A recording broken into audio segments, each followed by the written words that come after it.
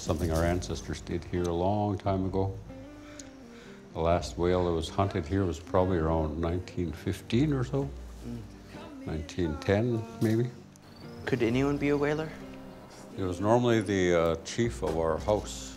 Things are always about being prepared and being ready. You come from a long line of chiefs. People know. They know you are Tai Hatwith. Be humble. Now your father is gone. You, you will go there. You will fill in that seat. You are an important person in our nation. Don't ever forget that. Do you know what that is? No, it's about fear. If you're, you're not afraid, they say you can learn anything. And it's true. No. No, I'm not afraid to learn. That's good.